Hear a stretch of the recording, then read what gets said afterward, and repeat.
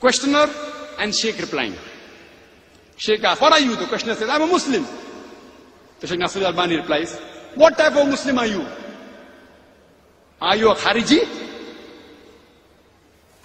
Are you a Mutazali? Are you a Shi'i? Are you a Rifadi? Are you a Qadari? What type of Muslim are you? So the questioner says, I am a Muslim following Quran and Sunnah. What Sunnah? Everyone says Quran and Sunnah.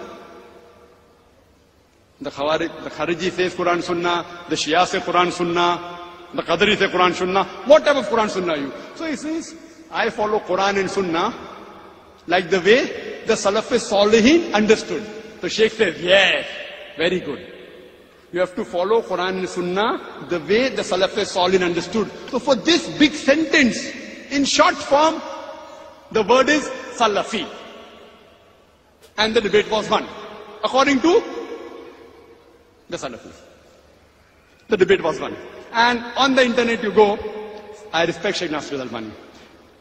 Many of my talks, when I want to check up a hadith, I see him. So I respect him, mashallah. I love him, I revere him, but no taqleed.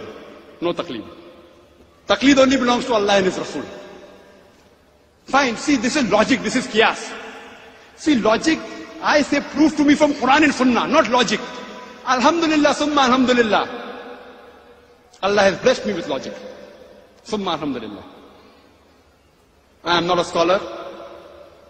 I consider myself a student of talib ilm, a student of knowledge.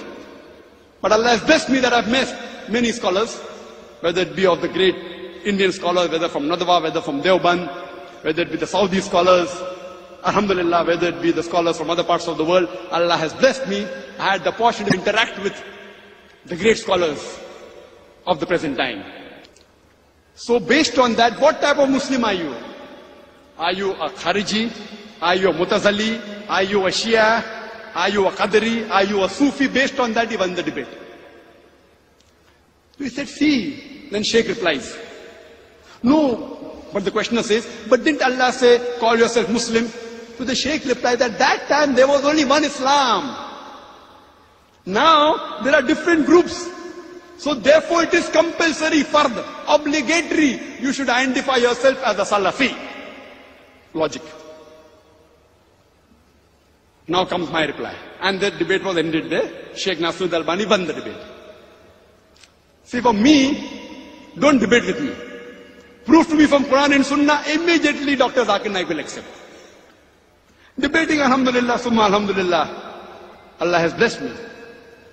In debating, Alhamdulillah, Allah has blessed me. My response to Sheikh Nasrud Albani. I respect him. I am nothing compared to him. I am not even a drop in the ocean compared to Sheikh Nasrud Albani. So please don't get me wrong. Many of my talks are based on his research, mashallah. So please don't get me wrong. I love him, I respect him, but no taqleed. I tell him, fine. If you see the lifestyle in the history of the Prophet, he didn't quote any hadith to me. He didn't quote to me any verse of the Quran that called us as Salafi. So I don't call. No logic. At the time of the Prophet, they were hypocrites, munafiqs. Fine? They were munafiqs. The Sahabas did not change the name. They were Kharijis, Khawarij, Kharijites. They called themselves Khariji. People gave them the label. The Sahabas yet called themselves Muslims. Did the Sahaba say, give them a new name? No. They continued calling themselves Muslim. They were Mutazalites. People yet continued calling themselves Muslims. So at that time also there were differences. Not that they were not. Now coming to the question. That therefore Sheikh Nasir al-Albani says you should call, you, call yourself Salafi. My question is, which Salafi? Which Salafi? My counter question. And now do you know how many of Salafi? Are you a Kutubi or Sururi or Madkhali? I can name another Salafis. See, I'm not speaking against anyone. Please don't get me wrong. I don't mean ill to any of them. But even in Salafi there are various groups. And if you go to UK, MashaAllah, Subhanallah, Allahu Akbar, there are so many groups in UK, each group fighting against the other, calling the other Salafi a kafir. Nauzubillah. We'll come to that later on if time permits. So which Salafi do you belong to? Again, see whatever label you give, there's bound to be tafarraqa. When the Shias came, people said we are Sunni. Again there was group Ahle Sunnah wal Jamaat. Then again there was division, Hanafi, Shafi, Hanbali, Malaki. Then we came with Salafi, Ahle Hadith. There's group even in this. The moment the name, the name given by human beings, there's bound to be tafarruqu. Even in Allah's name, Muslims are bound to be division. Allah told that.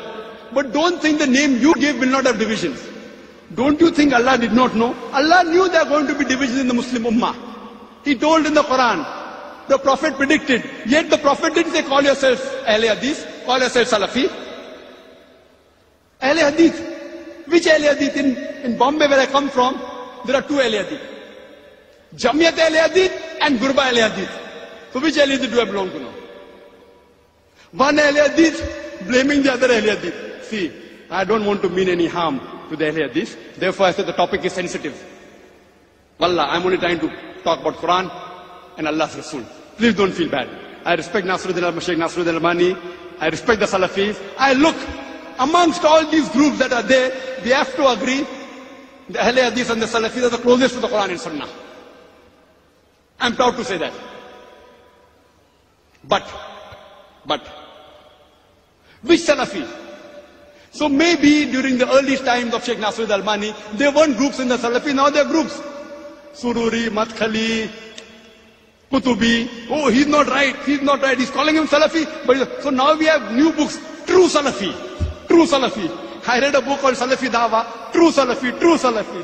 What is true Salafi? I say, you know, we had a Dawa training program in Bombay, where we invited people from different parts of the world. There were 14 people, there were 19 people from 14 different countries.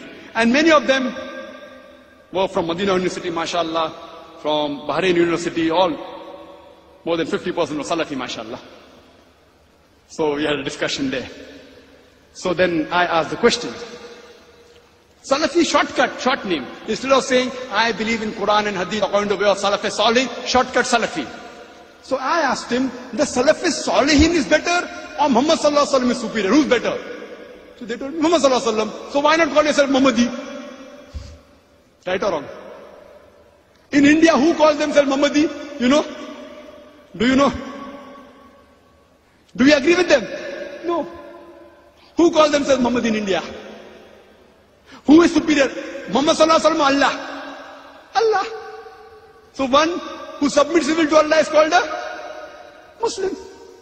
We know there are divisions in Muslim, but whatever name you give, there are going to be division. In the Hanafi Maslak, there were four students. In Shafi Maslak, there's Qadim and Jadid. In the Ahle Hadith, I went to Kashmir, there are many groups of Ahle Hadith. I went to Kerala, Mujahideen.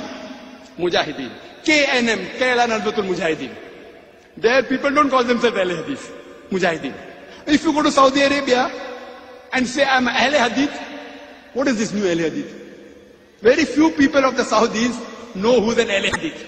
For them, they know Salafi. But Salafi and Ahle Hadith belong to the same group, the names are different. In some country, Ansari. Fine. So, when he's saying call ourselves Salafi, that means the Ahle Hadith of India, they aren't Salafis. Fine. So here we realize that if you want to give a label, instead of Salafi, Muhammad is better, instead of Muhammad is Muslim. Therefore I say, Atiullah, Atu. Therefore I, for label, I prefer calling myself Muslim. That's it. First a Muslim, last a Muslim.